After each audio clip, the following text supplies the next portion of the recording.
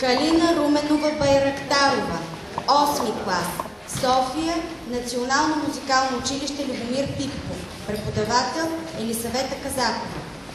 Моцарт, концерт номер 2, първа част, Фиорило, стакато, Христосков, малка токата.